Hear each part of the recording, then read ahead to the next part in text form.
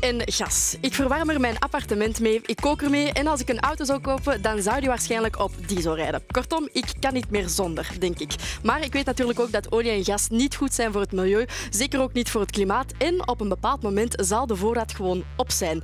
Dus kunnen we ook zonder. En zullen we dan tegelijkertijd even comfortabel kunnen leven als nu? Of gaan we moeten leven zoals de mensen 200 jaar geleden? Daarover praat Jacot de komende 45 minuten hier in Barbreal met drie experten van dienst. Kunnen we op dezelfde manier blijven leven zonder olie of gas? Om op die vragen allemaal een antwoord te bieden, hebben we er deze keer drie proffen bij gehaald. Marlies van Baal, hoogleraar chemie aan de U Hasselt aan IMEC en Energyville. Griet Verbeek, hoogleraar architectuur aan de U Hasselt. En Johan Driessen, hoogleraar ingenieurswetenschappen aan de KU Leuven en ook aan Energyville. Welkom, welkom alle drie. Uh, Johan, je bent als een ingenieur bezig met elektrische energiesystemen en toepassingen. Dat moet je me even uitleggen. Wat mag ik daaronder verstaan? Ja, ik uh, kijk naar alle leuke dingen die je kunt doen met elektriciteit. Tegenwoordig, we rijden met elektrische auto's, we verwarmen met elektriciteit. Er komt heel wat technologie bij kijken. Maar ik vraag me ook af, waar gaat die elektriciteit vandaan komen? En hoe krijgen we die op de plaats waar we die nodig hebben? Ja, als ik het goed begrepen heb, gaat het ook over het feit dat je uh, meer toestellen, of om niet te zeggen alle toestellen, op uh, elektrische stroom wilt laten. Daar komt het ongeveer op neer. Ja, Uiteindelijk uh, gaan we dat als de belangrijkste energievector in onze maatschappij gaan gebruiken. Ja, dan blijft de hamvraag natuurlijk. We zijn nu zo afhankelijk van olie en gas. Kan dat überhaupt? Ja, als jullie zeggen olie en gas, dan neem ik aan dat je bedoelt fossiele olie Fossiele, en ja, fossiel gas. Zeker wel. Ja. Ja. Op dit moment importeren we daarvan heel veel. Dat is uh, ongeveer twee derde van de energie die ons land uh, binnenkomt. En heel wat van die olie en gas gaat direct door naar een eindgebruik, zoals diesel uh, of gas om te koken, gas uh, om te verwarmen. Maar eigenlijk als je kijkt, uh, die, die energieomzettingen die daarmee gepaard gaan, dat gaat gepaard met heel veel verliezen. Dus zoeken we naar, om te beginnen, uh, systemen die veel efficiënter zijn. Dat je minder energie nodig hebt. En dan kom je meestal uit bij elektrische energieomzettingen. Warmtepompen, elektrische auto's. Simpel te zeggen, met een elektrische auto kan je, afhankelijk van, van het type, uh, ongeveer uh, drie à vijf keer verder rijden met dezelfde hoeveelheid energie als dat je bijvoorbeeld met een, een fossiele brandstof zou begonnen zijn. -hmm. Dus het is een, een, vraagstuk rond efficiëntie enerzijds, ja. maar ik veronderstel dat het duurzame er toch ook Tuurlijk. wel iets mee te maken heeft. Efficiëntie, hè, de beste vorm van energie is de energie die je nooit hoeft te uh, verbruiken uiteraard. Uh, maar hè, als we kijken hoe dat we nu de elektriciteit maken, hè, of, of, de energie in het algemeen omzetten, dan gaan we inderdaad heel veel CO2 daarbij produceren. Hè. Bij de verbranding komt CO2 bij. Uh, als je auto rijdt, komt er CO2 uit de uitlaat en ook nog wat andere dingen, fijn stof en zo stikstofuitstoot.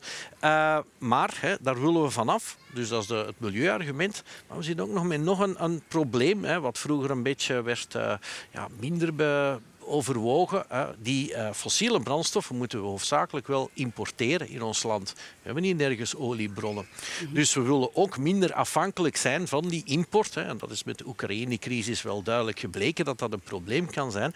En dus zoeken we ook naar vormen van energie die we wel gemakkelijker kunnen importeren of hè, hopelijk hier op de een of andere manier kunnen opwekken. Mm -hmm. En dat is bijvoorbeeld uh, ja, wind- en zonne-energie. Ja, zeker en vast. Misschien moeten we elk van die energie eventjes apart bekijken hoe realistisch het is om 100% afhankelijk te zijn van hen. Uh, laat ons met windenergie misschien beginnen. 100% van één van die energiebronnen zal nooit lukken. Nee. Je hebt altijd een mix nodig, ook omdat je risico's wilt spreiden in, in de praktijk.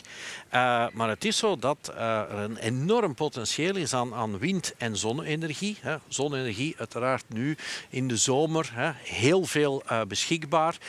wind hangt ook een beetje af van, van hoe het weer in elkaar zit, welk seizoen dat we zijn. gelukkig zijn wind en zon redelijk goed complementair in ons land.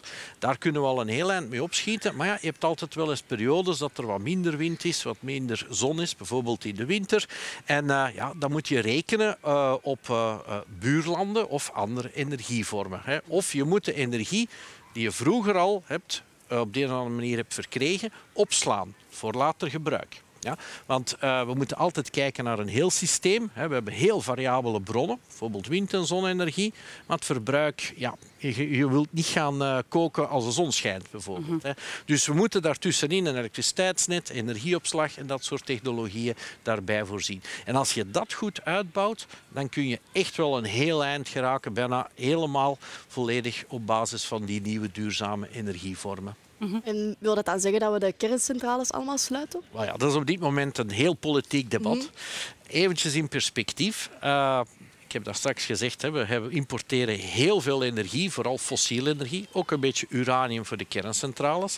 En van die uranium maken we dan ook wat elektriciteit. Maar als je kijkt op die hele energiebalans, is die elektriciteit uit die kerncentrales eigenlijk maar een heel klein deeltje. De grote uitdaging zit hem in de rest. Al die fossiele energie die naar de chemische industrie gaat, die we gebruiken voor verwarming, dat zijn nog enorme hoeveelheden. Of we nu een kerncentrale een paar jaar langer gaan openhouden of niet, ja, dat kan even helpen, maar op lange termijn hebben we veel grotere uitdagingen. Mm -hmm.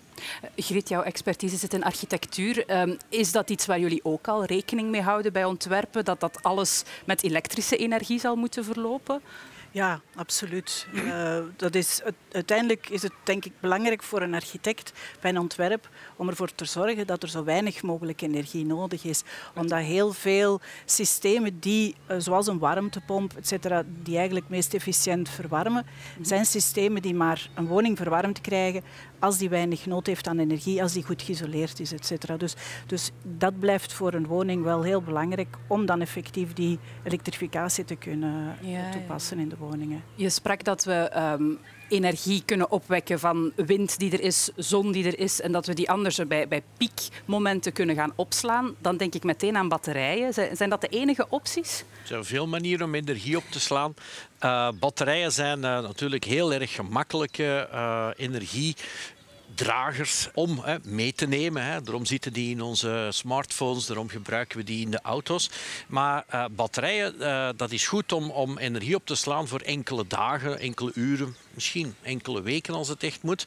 Maar we zitten nog met uh, de problematiek dat er grote verschillen zijn tussen winter en zomer. In de, in de zomer eigenlijk hernieuwbare energie te veel.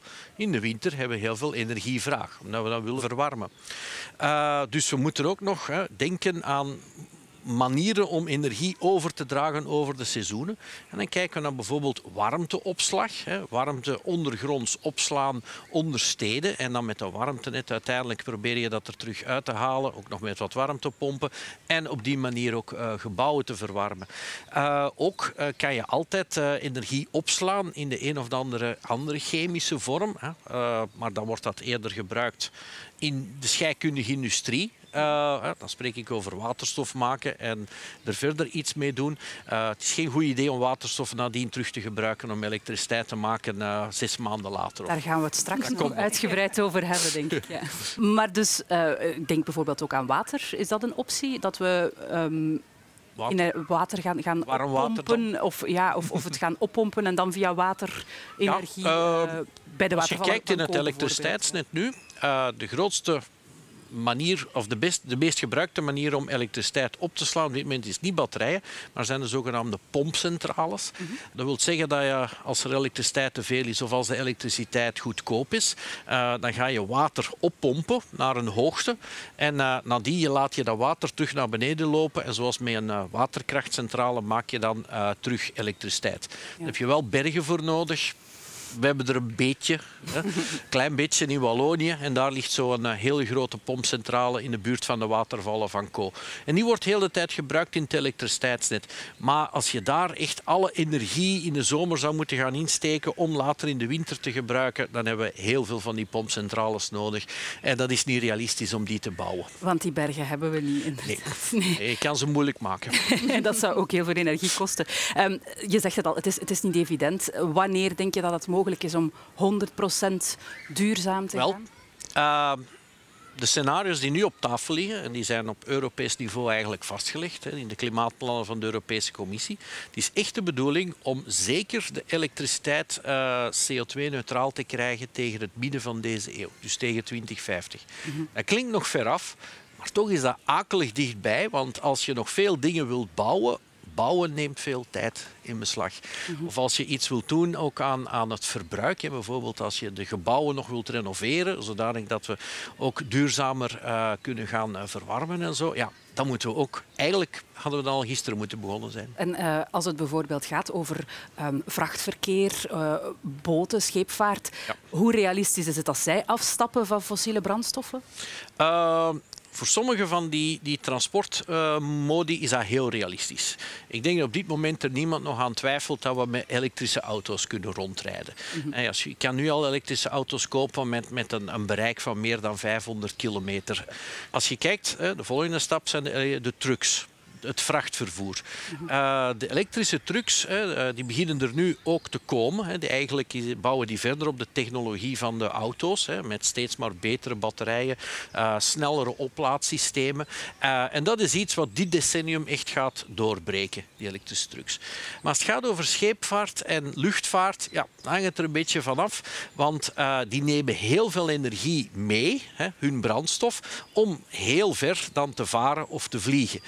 En dan zitten we met het probleem dat als je dat allemaal in batterijen zou willen steken, hè, je moet dan nog de lucht in, hè, of het schip mag niet zinken, dan zou je heel veel batterijen moeten meenemen. En is er geen plaats meer over voor passagiers of containers of, of zoiets. Dus er is wel een grens uh, aan, aan transport wat elektrisch kan. Je kan elektrische vliegtuigen bouwen. Er zijn er nu al. En er zijn luchtvaartmaatschappijen die, die al uh, bestellingen hebben lopen voor elektrische vliegtuigen. Maar men verwacht dat dat toch maar is uh, voor een afstand tot een duizendtal kilometer. Okay. Dus we kunnen van hier naar Barcelona elektrisch vliegen uh, op groene stroom. Dan. Maar als je de oceaan over wilt, dan hebben we een probleem. Betekent dat dan ook dat we, om echt duurzaam te leven, een stukje luxe gaan moeten afgeven? Ik denk het niet. Ik denk dat we zelfs aan luxe gaan winnen. Okay. Als je kijkt naar het verkeer bijvoorbeeld. Hè, nu het verkeer, hè, dat is toch niet echt goed ruikend, zal ik maar zeggen. Uh, uh, we hebben dat fijn stof, hè, dus uh, daar willen we ook vanaf. Hè, dus dat is goed voor de gezondheid. En een auto is nogal lawaaierig. Wel, vergelijken met een elektrische auto, amper fijnstofproductie, geen lawaai niet meer en ook de CO2 hè, zijn we dan ook uh, vanaf. Dus op die manier gaan we aan luxe uh, winnen. Ook in gebouwen, verwarming, hè, als je uh, vergelijkt met, met gasketels en dergelijke. Ik denk dat warmtepompverwarming iets aangenamer is. Mm -hmm. Ja, zeker en vast. Misschien nog een laatste vraagje. Um, we hebben al windenergie, zonne-energie, waterenergie aangehaald. Zijn er nog andere alternatieven? Kernenergie ook al, maar dan Kijk ik misschien naar kernfusie, is dat een optie? Ja, als je kijkt in de kernenergie zijn er eigenlijk nog heel wat opties. Hè. Uh, kerncentrales zoals we nu hebben, dat, zijn, dat is technologie van de vorige eeuw. Dus de kerncentrales in ons land zijn, zijn ongeveer 40, 50 jaar oud. Het ziet er naar uit dat we in de tweede helft van deze eeuw nog wel nieuwe generaties kerncentrales gaan krijgen. Veel kleinere eenheden, uh, die wat flexibeler zijn, die wat minder uh, kernafval zouden produceren. dat zijn die kleine modulaire kernreactoren. Maar die gaan we zeker niet voor 20, 50 hebben uh, om ons elektriciteitssysteem uh, te kunnen upgraden. Mm -hmm. Je hebt dan ook nog de kernfusie. Dat is ook iets, hè, daar zijn we ook al heel lang naar het kijken. Dat is een heel ingewikkelde technologie. Dat kan werken, maar dat zijn enorme complexe installaties. Er is nog heel wat onderzoek nodig.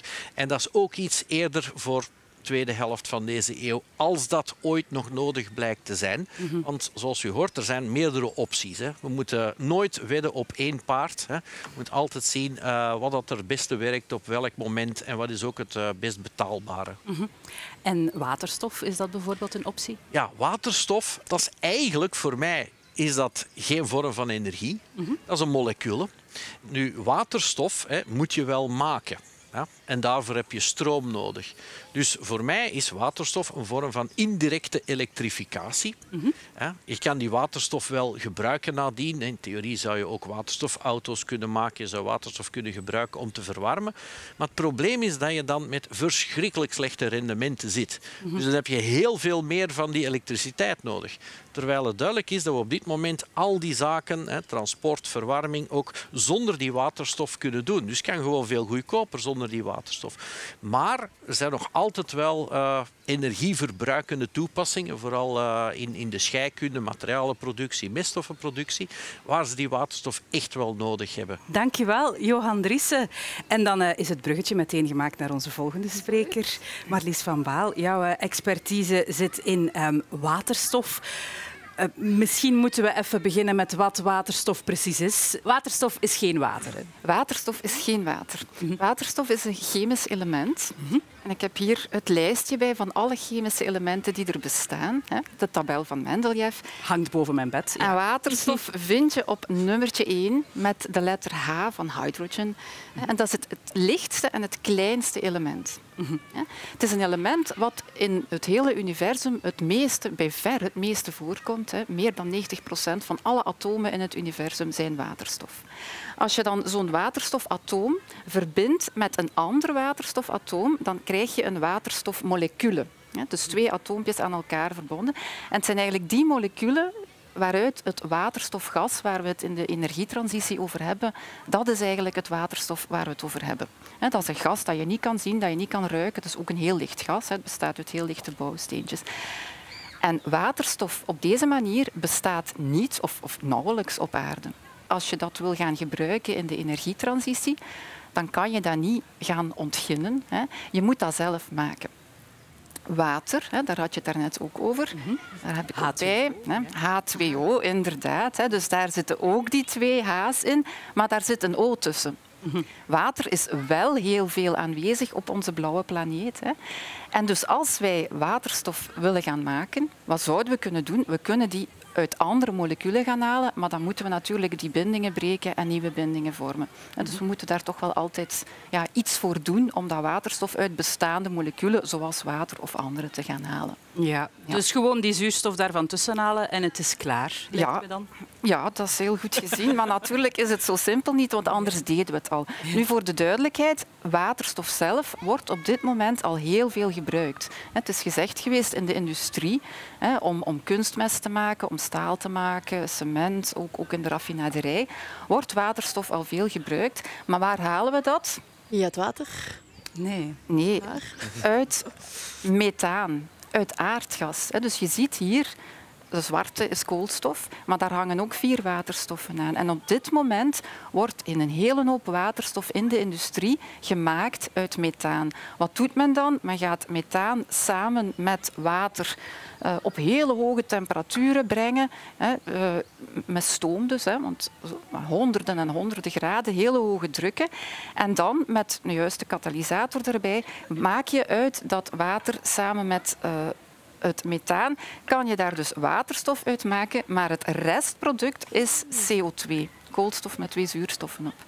En dat is dus natuurlijk niet goed voor het milieu. Dus de waterstof die wij nu maken en die al heel veel in de industrie gebruikt wordt, noemen we grijze waterstof, omdat daar eigenlijk het milieu-onvriendelijke of het klimaatopwarmende uh, CO2 bij vrijkomt. Je spreekt van die reactie die gaat um, alleen maar voort als je een katalysator gebruikt. Misschien ja. nog eventjes stilstaan bij wat een ja, katalysator voor mij uit. Ja, een katalysator is eigenlijk een, een, een, een element wat je daarbij doet, of een, of een materiaal wat je daarbij doet, wat eigenlijk helpt om de energie die aangeboden wordt hè, zodanig te verdelen dat net de juiste bindingen breken en andere juiste bindingen vormen. Dus dat zijn ja, soms metalen of zo. Mhm. ja. Ja, ja. We hebben daarnet al duidelijk geleerd dat uh, waterstofgas geen goede optie is om energie uh, uit te putten. Waarvoor kan het dan wel gebruikt worden? Ja, waterstofgas, hè, zoals ik juist gezegd heb, is dus een gas wat op dit moment in de industrie al heel veel gebruikt wordt. Hè. Natuurlijk grijze waterstof. Bijvoorbeeld om kunstmesten te maken. Hè. Kunstmest is een manier om stikstof in de bodem te krijgen. Hoe krijg je stikstof in de bodem? Ik heb daar nog een molecule voorbij. Echt, ik hou hiervan. Dit is stikstof, twee stikstofatomen bij elkaar. En dit is ammoniak. En ammoniak is eigenlijk de bouwsteen om kunstmest te maken. Maar je ziet, hè, om van stikstof ammoniak te maken, moet je daar ook weer waterstoffen op zetten. Nogmaals, op, op dit moment, al die waterstoffen die daarvoor gebruikt worden, en dat is heel veel, er wordt heel veel ammoniak gemaakt in de wereld, is allemaal grijze waterstof. Hè. Allemaal waterstof waar heel veel CO2 voor vrijkomt. Niet alleen kunstmest, maar bijvoorbeeld ook ja, staal. Hè. Om uit ijzeroxide ijzer te maken, moet je, heb je waterstof nodig. Of ook in de, in de olieraffinaderij, dus om, om kunststoffen te maken hè, uit, uit petroleum, uit aardolie, heb je ook waterstof nodig. Het is misschien geen goede energiebron, maar toch zijn er dan waterstofauto's die, die opkomen of, of waar je, ja, plekken waar je waterstof kan gaan tanken. Uh, hoe zit dat dan precies in elkaar? Ja, dus je kan op dit moment... Uh, kan je met een auto rijden hè, of, of men denkt aan het gebruiken van waterstof in, in, in auto's. Maar Johan heeft het al gezegd, dat is op zich geen goed idee. En misschien moet ik eerst eens een keer teruggaan naar, want ja, we zijn hier eigenlijk over grijze waterstof bezig. Hè. Ondertussen denken wij natuurlijk ook aan waterstof als een oplossing om naar een, een koolstofneutrale en duurzame energiemaatschappij te gaan. En dan spreken we over groene waterstof. En dat is eigenlijk het idee wat men dus in, ja, waar men aan denkt met de auto's. En groene waterstof is waterstof die men uit water haalt. Dus daar hadden we het daar straks al over. Als je water ook weer met de juiste katalysator heel veel elektriciteit hè, daarop zet, hè, dan kunnen die bindingen breken en dan kan je dus waterstof vormen en het restproduct dat daar dan bij vrijkomt, hè, dat zijn die twee zuurstofjes, dat is zuurstof. Dus dat is eigenlijk een vorm van waterstof maken uit water waar ja, waar geen CO2 vrijkomt. En dat noemen we groene waterstof. En het is inderdaad die groene waterstof waar men aan denkt om, of sommige mensen denken eraan, om daar auto's te gaan mee doen rijden. Nu, een waterstofauto is eigenlijk ook een elektrische auto. Dus wat doe je? Je neemt water, je gaat daar heel veel energie, katalysatormaterialen op, op, bijzetten hè, om het waterstof te maken. Dat is dan wel duurzaam. En vervolgens ga je weer terug in de brandstofcel van je auto, ga je dat waterstof weer terug omzetten naar water en dan komt die energie daar weer terug vrij. Met wat verlies. Hè. Maar dat is eigenlijk, ja, elke stap die je doet, verliest je wat. Het is eigenlijk een beetje ja, redelijk onlogisch om te denken waarom ga je dan die, die elektriciteit niet rechtstreeks gebruiken in een batterij en dan ja. Ja, met, met uw elektrische wagen gaan rijden. Het is een omweg en het geeft veel verlies. Hè. Een, een, een wagen die op uh, batterijen rijdt, rijdt 2,5, misschien drie keer zo efficiënt, energiegewijs, dan een, wa een wagen die op waterstof rijdt. En bovendien, hè, je zou dus waterstof wel kunnen gaan gebruiken in de energietransitie. Want zoals ik gezegd, je kunt daar dus terug energie uithalen. Hè. Zij het als elektriciteit, zij het als warmte. Maar we hebben zoveel waterstof nodig ook in die industrie als ingrediënt voor heel wat ja, processen die we dan ook willen verduurzamen. En als we al die waterstof die we nu, al die grijze waterstof die we nu in de industrie gebruiken, willen gaan omzetten naar groene waterstof, dus waar alleen zuurstof bij vrijkomt, ja, dan gaan we om te beginnen al heel veel elektriciteit nodig hebben. En we hebben het daar net over gehad. Dus dat, dat is een uitdaging, want we moeten ook ons huizen gaan verwarmen en gaan rondrijden op elektriciteit. En daarnaast gaan we ook veel materialen nodig hebben. Dus die materialen om dit klaar te krijgen, die katalysatoren waar ik het net over had, dat zijn nu net elementen, dus ook hè, hier in, ons, in, onze, in onze catalogus, hè, zoals iridium, platinum en zo, waar eigenlijk op aarde ja, niet zo heel van, veel van zijn. Dus men noemt dat de kritische, de kritische elementen. Mhm. Dus we moeten daar ook wel heel ja, duurzaam en heel doordacht mee gaan omspringen van waar we onze waterstof, waar we veel elektriciteit, veel kritische elementen voor nodig hebben, hè, waar we die dan gaan, gaan inzetten. Mhm. Misschien nog heel even over die auto. Ik vraag me af waarom dat die, die auto op waterstof als die dan toch niet zo goed blijkt te zijn, ja, waarom wordt daar dan, lees ik daar zoveel over? Of staat ja, ja, eh, je hebt langs de ene kant de mening van de wetenschappers en je hebt langs de andere kant natuurlijk ook nog andere machten en krachten die spelen. Mm. Hè. Uh, ik, ik, ik, vergelijk dat al eens met, met, met de hele, het suikergebeuren. Hè. Iedereen, al de wetenschappers weten dat het niet goed is om suiker in ons eten te stoppen. En toch hè, heb je daar een hele industrie en een hele lobby rond die ervoor zorgt dat er maar meer en meer suiker in ons eten zit. Dus ja, wat kan ik daarop zeggen? De wetenschap is duidelijk. Er zijn autofabrikanten die veel te verliezen hebben als die elektrische auto helemaal doorbreekt. En die zullen er alles aan doen mhm. om ja, nog alternatieven uh, of de ouderwetse auto's met verbrandingsmotoren nog zo lang mogelijk op de, markt uh, op de weg te houden. Hè. Uh, je hebt die waterstofauto, maar ook een tijdje terug was er een heel discussie over synthetische brandstoffen, e-fuels. Ja, dan neem je die, die waterstof en dan ga je die nog wat verder laten reageren tot met een soort van uh, ja, nagemaakte benzine of diesel heeft, ja. dan kun je in theorie nog eh, rijden met de huidige auto's. Maar elke stap die je nog toevoegt uh, aan die chemische conversies, dat geeft telkens heel veel verliezen. Hè? En dus dat wil zeggen dat we aan het begin van die keten nog meer elektriciteit gaan nodig hebben om dat nog duurzaam te kunnen rondkrijgen. Nogmaals, ik, ik zie niet direct hè, een toepassing voor, voor waterstof als, als energie Energiebron mogen we al zeker niet zeggen. We moeten het maken als energiedrager misschien wel, hè, maar niet in woningen, niet in auto's. Wel in bijvoorbeeld chemische industrie waar heel veel warmte nodig is, waar je met elektriciteit niet kan halen. Daar wel. Wel in het hè, transmaritieme vrachtverkeer, hè, dus de boten, daar wel. Daar als energiedrager. En voor de rest, uh, ja, geef alsjeblieft het kostbare waterstof aan de chemische industrie. Want naast die kunststoffen, naast dat staal, naast dat cement, moeten we eigenlijk ook nog onze hele plastic-industrie gaan verduurzamen. En plastic bestaat ook, ja, ik heb het hierbij, bestaat mhm. ook uit koolstof en heel veel waterstof. Alle witte zijn waterstof. Waar halen we dat nu uit?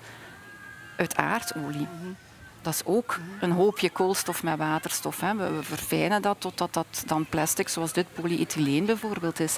Maar dit gaan we ook allemaal zonder fossiele grondstoffen moeten doen. Mhm. En dan kunnen we gaan denken naar recyclage of, of aan, aan, aan natuurlijke bronnen. Maar bijvoorbeeld ook CO2 hè, samen met waterstof terug gaan omzetten tot uh, ja, bouwstenen om chemische industrie mee te bedrijven. Hè. Dus dat kan... daaruit, dat is een, de C kan je dan... Dat is een polymeer. Ja, ja, dat is een polymeer. En de C die haal je uit de lucht. Uit Zo, dus op dit moment haal je die, C's, die koolstoffen uit, uit petroleum, uit aardolie. Maar men zou dus hè, uit de lucht CO2 kunnen halen. Ook weer waterstof nodig, je ziet het. Hè, Om daar dan chemische bouwsteentjes mee te maken, hè, zoals, zoals ethyleen of zo, of methanol. Hier, voilà, methanol. Hè. Uh, om daar dan chemie mee te doen en daar dus ons, ons hele kunststoffen industrie mee te vergroenen. Hè? Want je moet, je moet je bedenken, alles wat geen steen is of mineraal, alles wat geen, geen natuurlijk ding is, hout, vlas uh, of, of metaal, dat is allemaal kunststof. Hè? Mm -hmm. En dat wordt op dit moment allemaal uit aardolie gemaakt, dus we moeten daarvan af. Mm -hmm. En daar hebben we ook veel waterstof voor nodig. Wat is dan bioplastics? ja, bioplastics zijn dan bijvoorbeeld koolstofketens hè, die gemaakt zijn van, van ah, ja. ja uh, natuurlijke bronnen. Hè.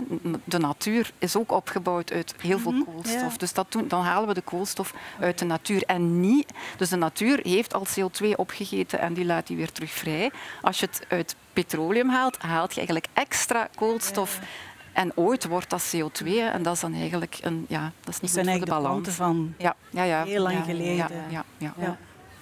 Oké, dus ik onthoud, waterstof is de toekomst, maar niet zoals de meeste mensen denken. Niet als energiebron, maar als grondstof om uh, richting een groenere toekomst. Inderdaad, zeker geen bron. Als het energie is, is het een drager, maar waar elektriciteit kan, elektriciteit en de rest voor de industrie. Oké, dankjewel Marlies van Baal. Nu, we hebben al van alles gehoord over uh, elektrificatie, over waterstof. En bij allebei is het woord efficiëntie alles gevallen. Um, hoe springen we zo efficiënt mogelijk om met materialen die voorhanden zijn? Daarvoor hebben we professor Griet uh, Verbeek ook uitgenodigd, architect, um, uh, expert bij de U Hasselt. u doet onderzoek naar duurzame architectuur, dus in principe hoe je efficiënt kan bouwen. Of hoe je voor die efficiëntie kan bouwen. Ja. Uh, onder andere efficiëntie. Dus mm het, is, het, is, zeker belangrijk dat we uh, onze gebouwen efficiënt maken en dat we ook dan uh, hernieuwbare energie toepassen. Hè, dus dat we geen fossiele energie meer toepassen. Maar die twee zijn eigenlijk niet genoeg. Okay. want bij efficiëntie zit er eigenlijk een addertje onder het gras. En dat is misschien goed om te zien van wat, wat, betekent efficiëntie eigenlijk? Als het gaat, dus bijvoorbeeld een, een, een, lamp, een efficiënte lamp. We kennen allemaal die energielabels die op, op lampen hangen. Op, voor, voor woningen hebben we zo'n energielabels. Uh, voor ijskasten, al onze toestellen. Maar we moeten weten dat bijvoorbeeld bij zo'n lamp zegt dat hoeveel uh, energie gebruik je per eenheid van licht die daaruit komt. Of bij een koelkast is dat energie per liter koelkast. Bij een woning is dat energie per vierkante meter.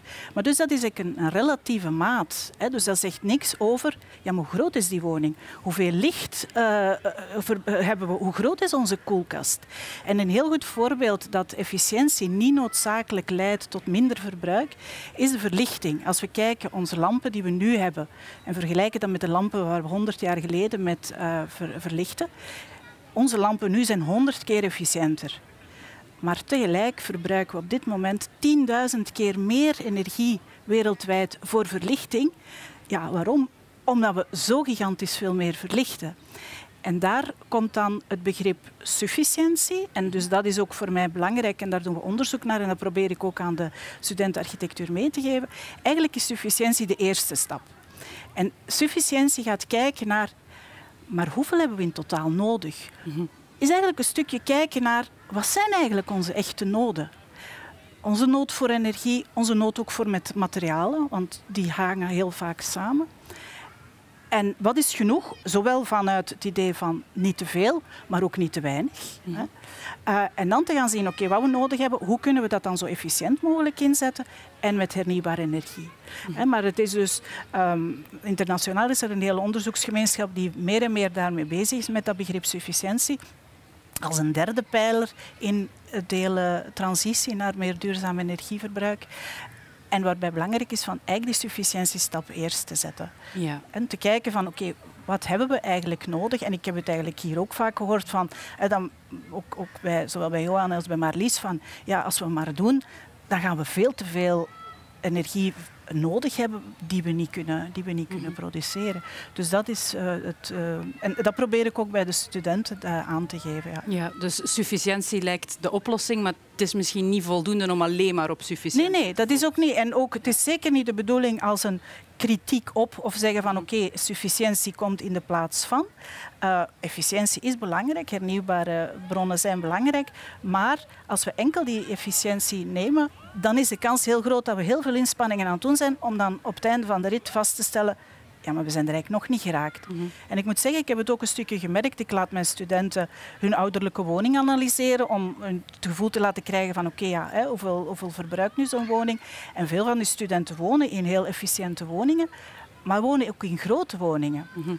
En dat je dan ziet van, ja, op het einde, je verbruikt eigenlijk nog best wel veel.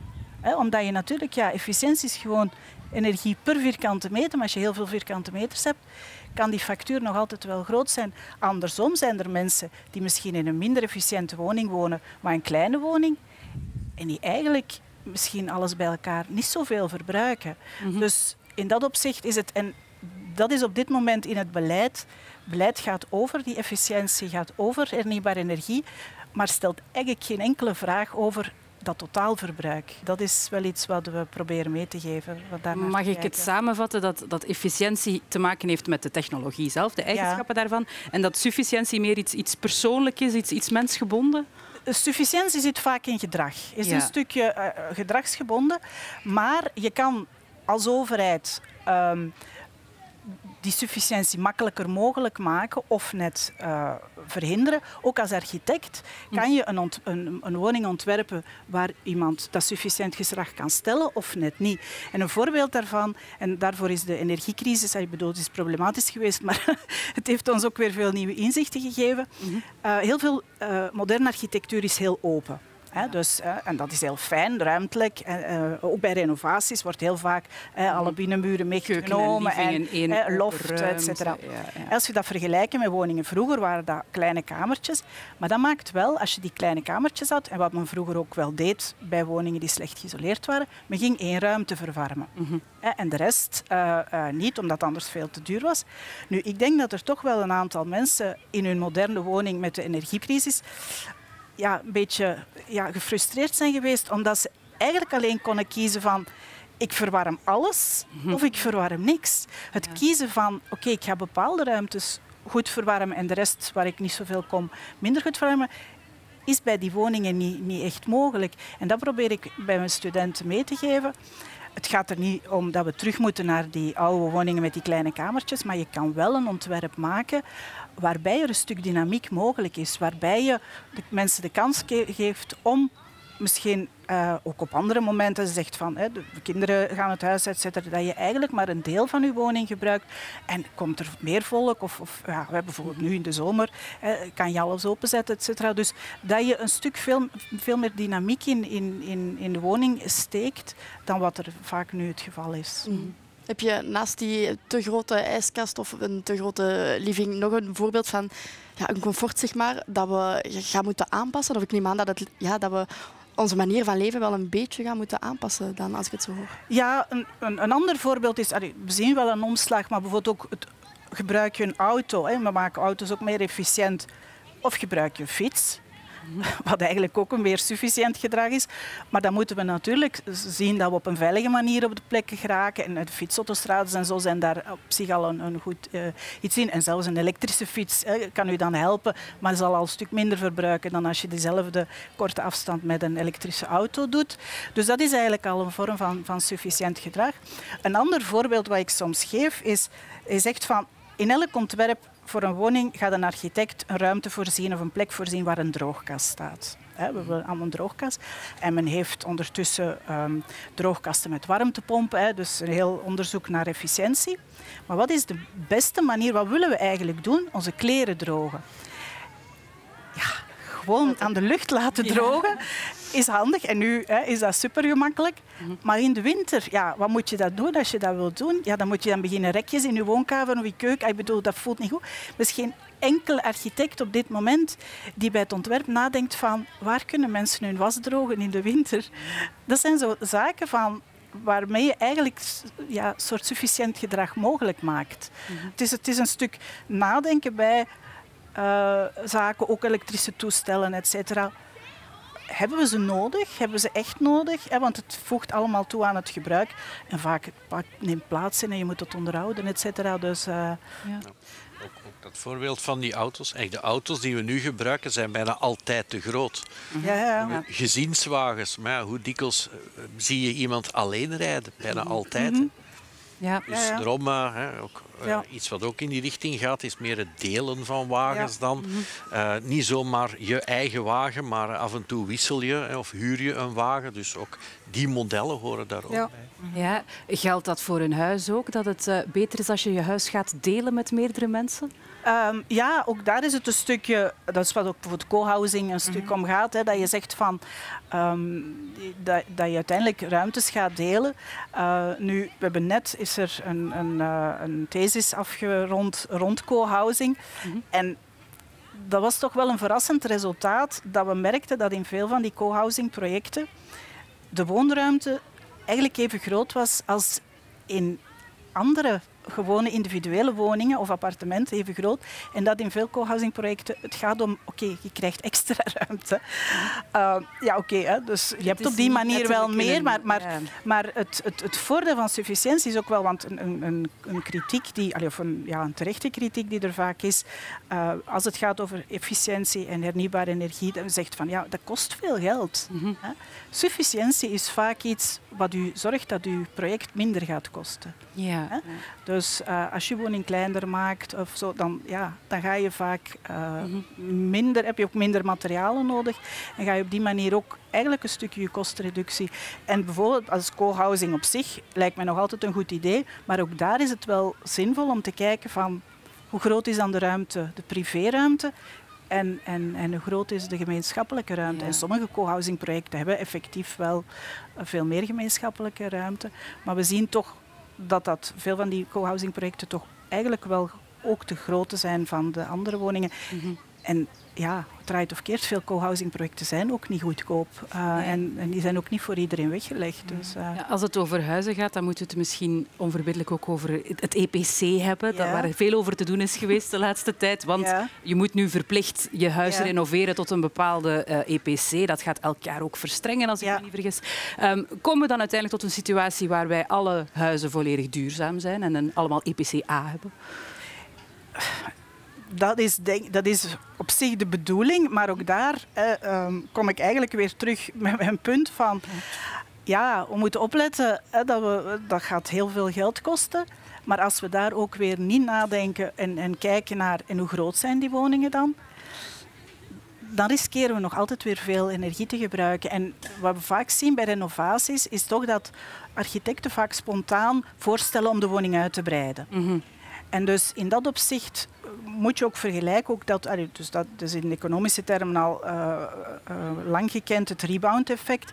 Het feit dat mensen eigenlijk, um, bijvoorbeeld als iets efficiënter wordt, dat ze er meer van gaan gebruiken. Dus in een inefficiënte woning ga je vaak op een sufficiëntere manier al leven, omdat anders je factuur uh, te hoog wordt. Dan ga je alles renoveren en dan is het zoiets van, ah ja, nu is het efficiënt, dus ik kan alles verwarmen, ik ga het hoger verwarmen.